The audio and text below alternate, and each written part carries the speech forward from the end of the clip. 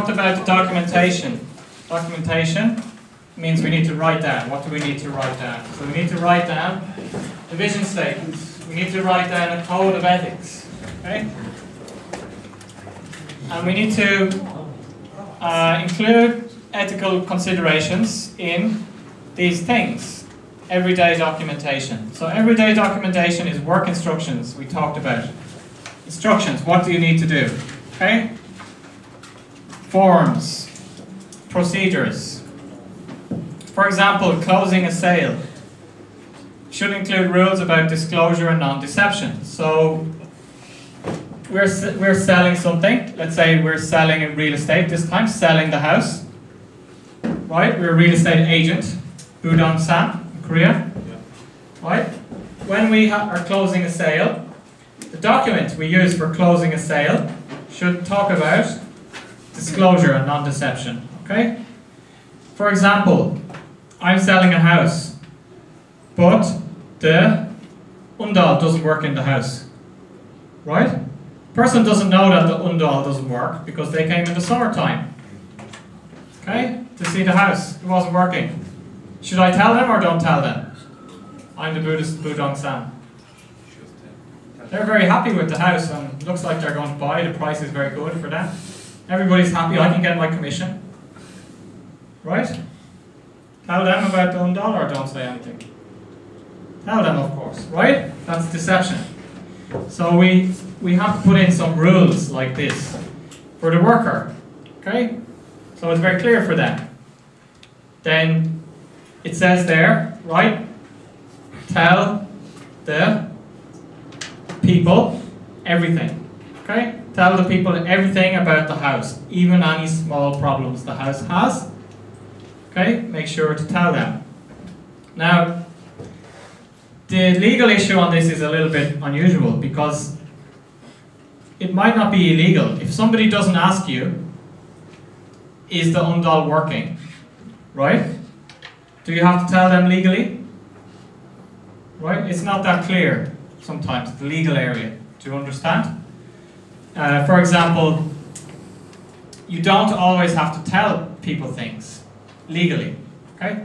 But if they ask you directly and you don't answer or tell a lie, then it's, you can be in problem with the law. Do you understand? But sometimes legally, just not saying anything, people don't, it might be difficult to prove legally. You might not get the money back, right? you might go to court and the judge will say, well, did you ask them if the undone works? And you say, no. And the judge says, did you try the undone? No. Then he say, go away. Right? Maybe. Do you understand the difference between law and ethics? Right? But ethically, we shouldn't. Ethically, we should tell them. That's the right thing to do. We should tell them that the undone doesn't work. Okay? What do you say? How do you say heating in Korea for the house? Probably my vowels are all wrong.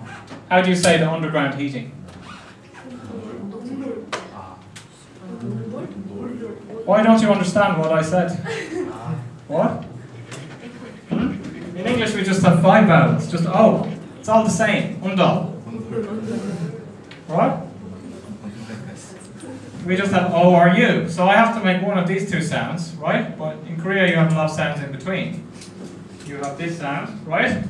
What's that? How are you? Is that how are you? Neither. Neither? Right? What about this? Is that an how are you? What about this? Is that an how are you? Hmm? What about this? What's that? I E I O R U. Which one? I can only say these five. Right? Do you see the problem? Learning Korean for foreigners? Foreigners can only make these sounds. Right? They can't make these sounds. Hmm? You have to learn to, I have to learn to make these sounds. I try, but all, uh, you, I try, but it's not easy when I'm talking, speaking. Korean is the hardest language to learn in the world, according to the CIA, for English speakers. For English speakers, Korean and Chinese are the highest level of the CIA, level 6. It takes two, more than 2,000 hours of study. But for example, learning Spanish just takes 300 hours of study. So learning Korean takes six times longer than learning Spanish for English speakers. How about Japanese? Japanese slightly, I'm not sure, but must be slightly less than Korean and Chinese, maybe level 5. Mm. Korean and Chinese are the two more difficult ones. Probably in, because in Chinese they have the four different pronunciation, like, right? I'm there's no Chinese too. right, so, what about in the Philippines? Is your language similar to Korean or Chinese? Very different from Korean? Uh, maybe Filipino is easier for English speakers to learn? Very easy. Where did Filipino come from originally? Like, Korean was linked with Chinese, right? You have Chinese characters. What about Filipino? Where did, where did it come from? Mm-hmm. Spanish, So you have some Spanish influence? Mm, so easier for English speakers? Do you speak Spanish? Um, actually, uh, our language is half Spanish. Like mm, Can you speak Spanish? Which is better, Spanish or English? English. English. Okay, so anyway, the underground heating, I can just call. We should tell people. So that's included in the documents. Mortgage lenders, the customer's rights. So customers have rights as well when they're getting the mortgage. Okay. Uh, selecting and evaluating suppliers. What are sweatshop conditions? So I'm working for Nike and I'm in Pakistan on a business trip to select a new supplier. Okay? So I go to one factory, there's 14-year-old children working there. Of course, it's very obvious, right? Okay, I'm not... No, no thank you. Okay, I'm going to go to another supplier. But sometimes it's not so clear, so we have to help out, right? What if the people are working 90 hours a week and they only get paid just $1 a day or $2 a day, right? Very low fee. Then is that okay? Right? Some people might think, yes, more profit for Nike, right? They work a lot, very long hours and they don't get any rest, right? They don't get any breaks. Maybe they are confused. Do you understand? It's not clear. So we make some guideline there. Uh, you know, that people should at least have the break of one hour every three hours or four hours, that kind of thing. So then let's uh, discuss some questions. So we discussed these questions before. So number four and number five. Give three things that should be in an ethical vision statement. give three things that should be in an ethical code of conduct. So we saw a list of different things we need to include in these documents. Okay? So just give three examples for each one. Three examples of things we should put in the vision statement and three things we should have in the ethical code of conduct.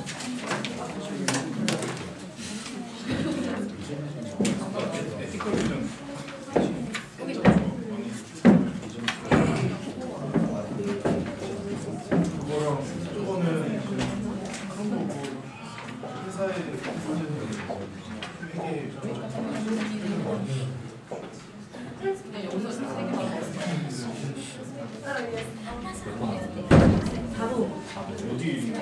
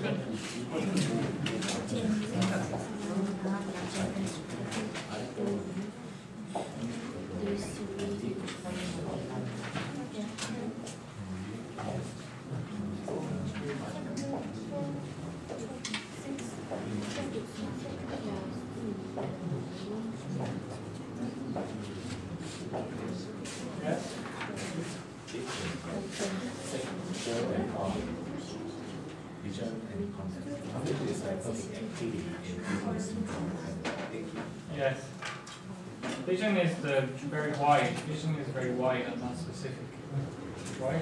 Just that, like vision is like guiding. understand guiding guideline. So guiding idea about how do we want our company to be. Unlock is um, yes, for our business, there's going to be some specific issue or problem. So how should we deal with the specific issue or problem for our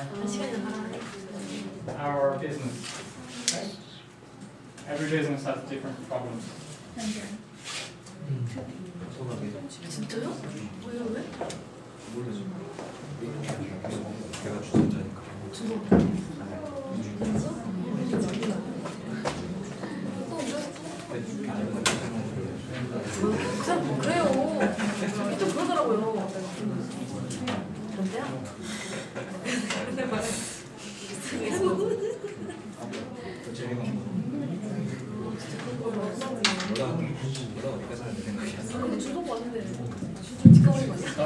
two, one.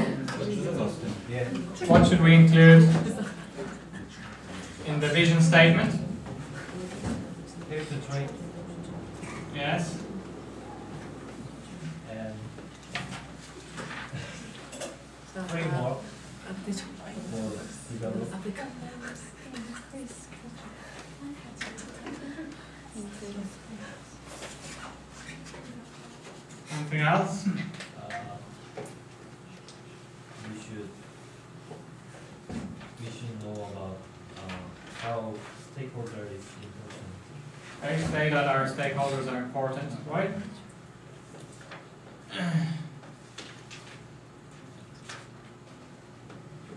So the, the vision statement is not a very specific document. It's ideal. Do you understand ideal? This is our ideal. This is what we want. Very wide. Okay? Then more narrow, the code of conduct. More dealing with specifically our business. Okay, so what should be included in the code of conduct? So, own. Yeah. Mm -hmm. What should be included here?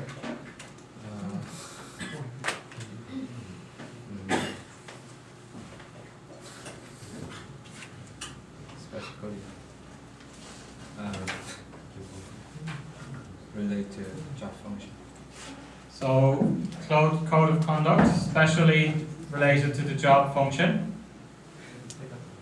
Anything else?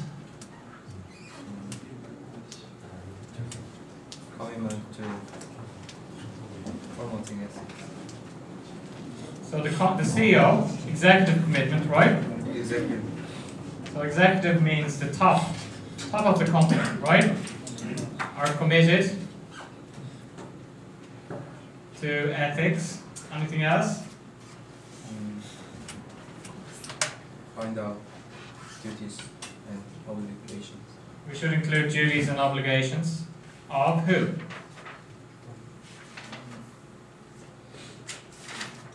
Exactly. Right. Duties and obligations of the company the stakeholders. Okay, it's specific. It's all specific to the job function, right? An important one here is missed is common issues. Issue is a nice word for problem. Okay? I had a boss before, and actually, he said when we started working, no negative words are allowed in the office. So we had a list of words on the wall, and none of those words were allowed to be used in the office. So we weren't allowed to use the word problem, or difficult, or can't. Okay? So it was a little bit unusual at the start, but at the end, it was quite useful. And the office had a nice atmosphere because people didn't use the negative words like that in the office, right? What would you say if I'm your boss and I come along and I give you the list? We're all happy people, right? We're going to be happy. I'm going to put this list, and you can't say any of these words like problem or difficult or can't. What would you think? Would you be happy to have me as a boss? Or not happy? Do you think I'm crazy? Imagine you're working for me, right? And I tell you, you're not allowed to use any of these negative words like difficult or problem. Or I can't do. You're not allowed to say I can't do. What would your impression of be of me as a boss? Happy or not happy? Crazy boss or nice or okay or? Hmm? Crazy. Crazy? Doesn't matter, I don't care. right? I just want good performance in the company. Okay? Especially in the Western country, in Korea, the harmony is more important, right? In the Western country, they want better performance, right? So, I don't mind if you like me or don't like me. In if I'm a Western boss, right? I, if you don't like me, I don't. It doesn't matter, right? Because just the company has to do a good job, okay? But I understand in Korea, harmony is more important in the workplace, right? more it's more like a family situation or family thing. So you could feel bad if you go to the Western country to work with the Western people because they don't care whether you like them or not.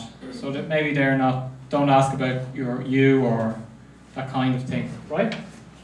So anyway, if I'm working as the boss again, I think I'm going to do that, right? That was the last job before I came to the university, but if I'm working as the boss again next time, I use the, that system, right?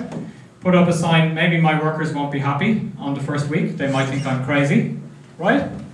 But I think after a month or two months, then they start to realize, just like I did, that's good, it makes a good environment in the office, right? People are not using the negative language, like negative words. But it was very hard when I talked to the boss. You can't do something. You can't say to the boss, go up and say, oh, I can't do that. You're not allowed to say can't right? So actually it was good because first, it stops me from going up to the boss all the time complaining, oh, I can't do this, boss. I can't do this, boss. Oh, I can't do this. What should I do? All right? First I have to think to myself and say, oh, I don't really know how to tell them that I can't do it. So it actually works. Then actually maybe I think a little bit harder and I try to solve the problem better. Right? then actually I can do in the end. Right? I'm not always running up saying it's difficult or it's hard or it's a problem. And that kind of thing. So just another a word that we often use instead, just this is just good, you can see on the TV, issue equals problem.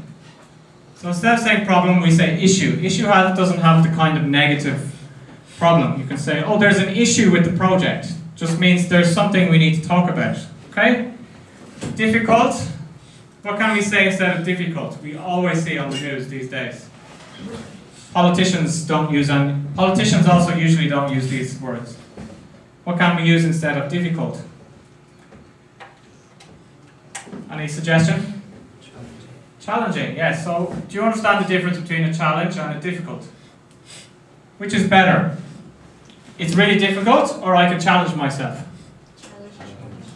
Challenge. Right? You can see the vocabulary also makes a difference in people's mentality, right? If you're going to run 10 kilometers, and you say, oh, that's really difficult to run 10 kilometers, then people are starting to think, yeah, it's difficult, maybe I won't do it, right? But if you say, oh, what a challenge, imagine, it's a challenge. You run 10 kilometers and then you'll feel great because you passed the challenge. Then the people might say, yes, I'm going to run 10 kilometers, I want to challenge, pass the challenge. Do you understand the difference? So you can see on the news, Barack Obama never says difficulty, he always says challenge. There's a big challenge for the world or that kind of thing. Okay? So that's just a side point. Okay? Just generally. it's a good idea to use positive language, right? Just we put in here common issues that often happen in our ethical issues that can happen, okay? In our job, our specific job. So, do you have any questions? so, we want to change our organizational process.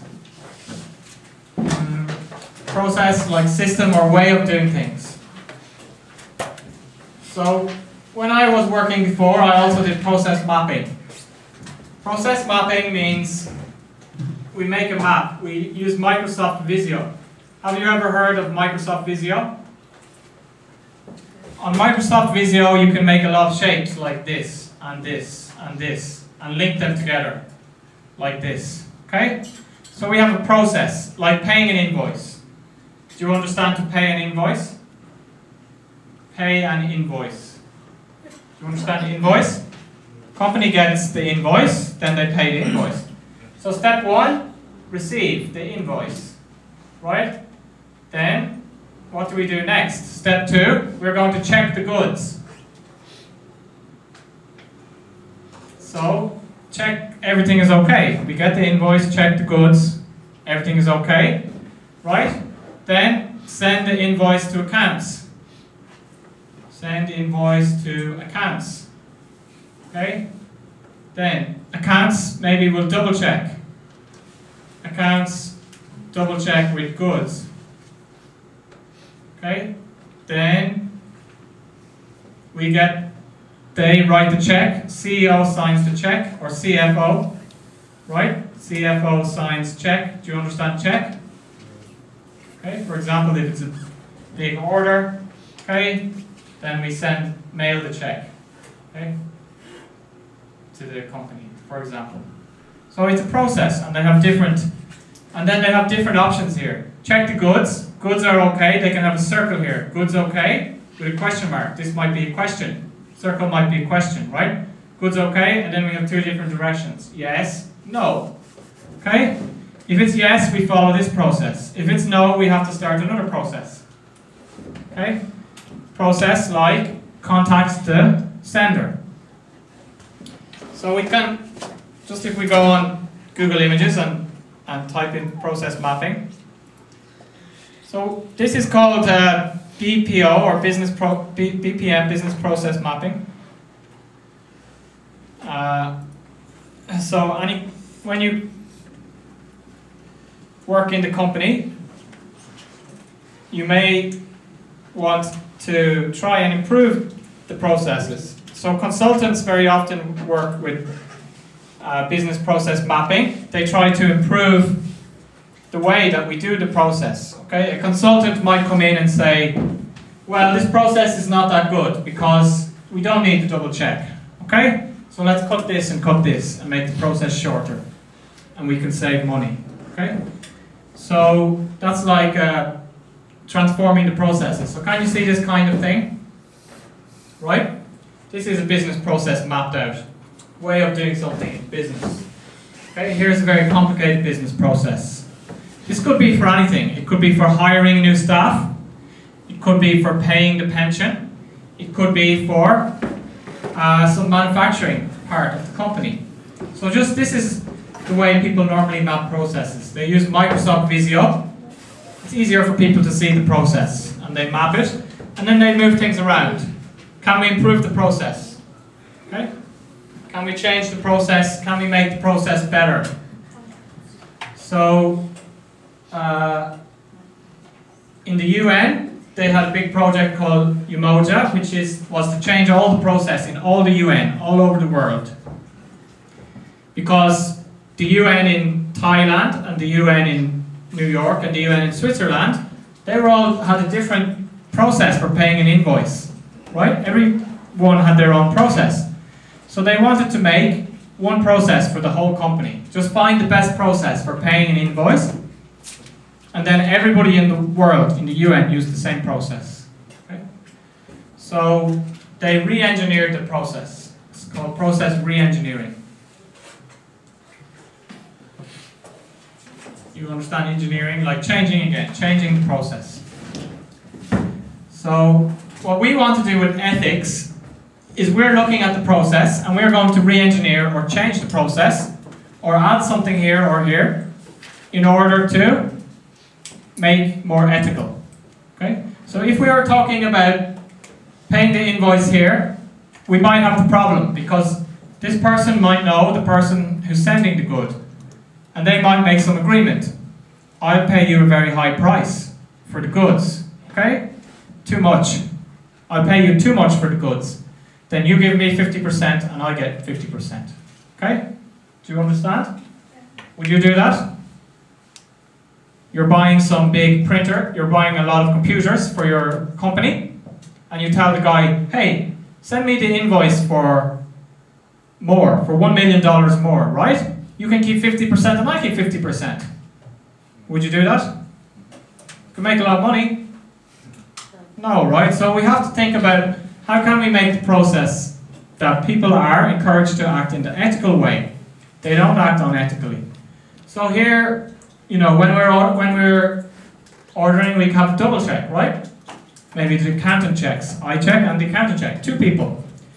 If you have just two people, it makes it less likely that people can get away with doing that kind of idea, right? Of course, I could tell you, hey, why don't we do this together, right? But still, two people is better than one. Okay, it's one reason also why police officers often are in partners, partnerships. So we look at the process and we try to adapt the process. So we, we document the processes, identify the stakeholder interactions. So I identify an interaction here between me and the person who sold the goods, right? That's the supplier, supplier and company interaction, okay? And we look at the expectations and rights of these processes. So the supplier expects to get paid on time. So the employer, the supplier has the right to get paid on time. So does this process mean that the supplier is going to get paid quickly or slowly? Okay. So slowly, it's too slow. So we need to change the process because the rights of our stakeholder, okay? Supplier has the right to quick payment. So change the system and make a quicker payment for our supplier. Then we should conduct gap analysis. Uh, gap analysis means what do we want versus the real situation and what's the difference. So we might say that we want, uh, let's say, integrity. Okay? But uh, we have our uh, workers who's doing some bribery. We found 10 cases last year. So we say, hold on a second, our company's value is integrity or honesty, right? This is our company's value. And this is what we want to promote. But we had 10 cases of some kind of bribery or something last year, okay? So it's not working. So we have to do a gap analysis. Gap analysis is, why is there a difference? This is the theory. This is the practice. Right? So why is there such a big difference between theory and practice? So then we, we, in order to do the gap analysis, a good way to do that is five W's. Or sorry, five Y's. We ask why five times, and we can often get to the answer. Okay? So why did they accept the bribe? They want to get more money to buy a new car. Okay? But why were they able to accept the bribe? Oh, because there was nobody checking them. Okay? There was nobody checking them. Why was there nobody checking them? Because we don't have that system. Why don't we have that system of checking? Because the CEO never made that system. Why did the CEO never make that system? Because the CEO is new and doesn't know about our values that well, okay? Not that familiar, okay? So then we get back, if we ask five whys, we can get back to the source of the problem. Okay, the CEO makes the system, and then we make the checking on the person who's going to do the bribery, and then we improve. Do you understand the idea of gap analysis? Gap analysis, the difference between theory, iron, practice, shield, John. I'm making up Korean words. How do you say practice? Was I right? Hmm? Okay, and then we have to ask why. Why is there a difference? And we keep asking why until we get to the point where we find out what we need to do to solve the problem. Okay, so we do this regularly. When we find out there's a problem with the practice, we ask for five whys. And we get back to the end. And we change. Then, number three, prevent unethical conduct before it occurs. Checking and reducing the likelihood is preferable to increasing the means of detection. So it's like brushing your teeth, right? It's better to prevent your teeth from getting problem rather than dealing with the problem afterwards, okay? Of course, we have the punishments for people who do the wrong thing, but we want to just make sure that they uh, do it right at the start. Okay, so I think we gave the example before. We have we can make a process diagram for anything. So let's say hiring an employee. Okay, so we have a process for hiring an employee. Okay, so we have get the CV. Okay, get the CVs, choose CVs. Do you understand CV? Resume? How do you say CV in Korea? How do you say CV in Korea? Eroxa, call the applicants, make the interview. Okay, so we have a problem. Our company are hiring too many men. They're just hiring men. Okay, not hiring any women. So make interviews, carry out the interview, right? Choose the to a successful person, right? Let's say this is very simple, there are other steps. Now, how are you going to make this process? We know that we have a problem with discrimination, okay? They're discriminating against the women. They're hiring men, mainly, and not women. So what can we add here to this process? Discuss with your partner to change this process we're going to add some step or something to change the process so that we don't have this problem that we're only hiring men and not hiring women. So discuss with your partner.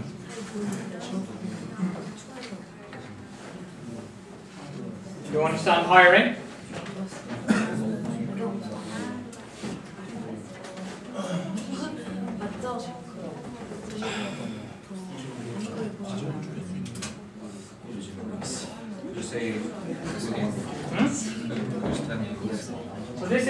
process for hiring an employee. Do you understand hiring an employee? So this is I just wrote just now, very simply, right? Get the CV, get the Europe source, choose the best CVs, call the applicants, carry out the interview with the people, they come to the office, and then choose the successful person. We choose this person, okay? The problem is, even though our company says in our values, non-discrimination, we're finding out that 90% of our new hires are men and 10% are women, when it should be 50-50. And just to be reasonable, it should be 60-40, 70-30, right? Maybe might be reasonable, but 90-10 is not reasonable, okay? So what do we need to change about our processes? Yes, we want to prevent. Do you understand prevent? We want to prevent people from discriminating against women. Okay?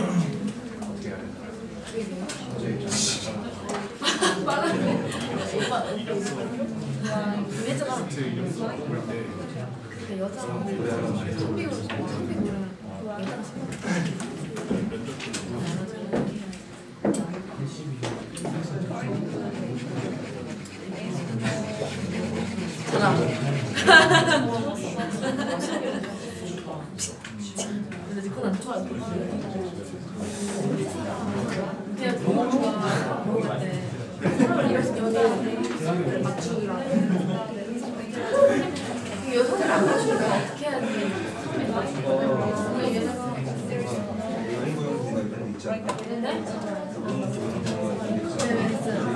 네, 장려금.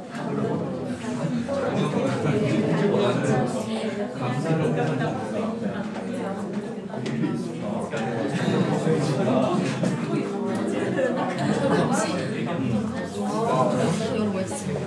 나라 나라 나라도 죽이봐. There's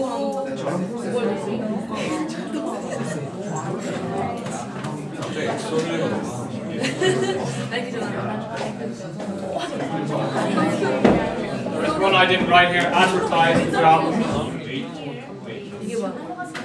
Advertise.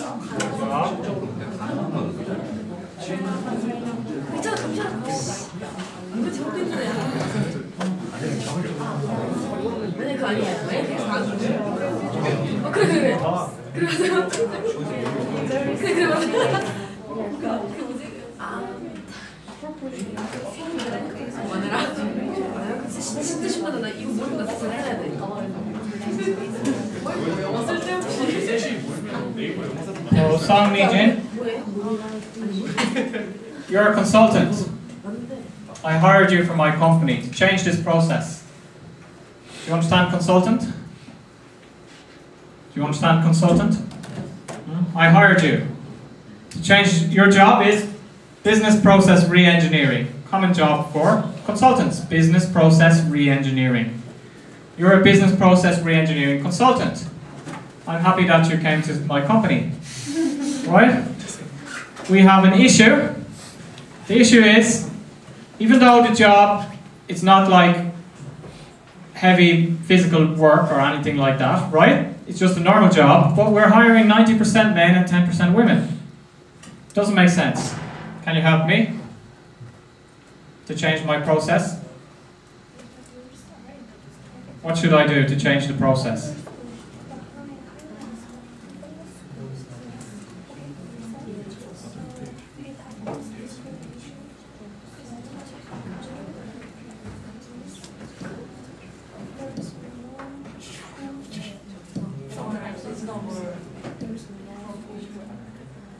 Yes, we want yes we want more reasonable proportions. So what?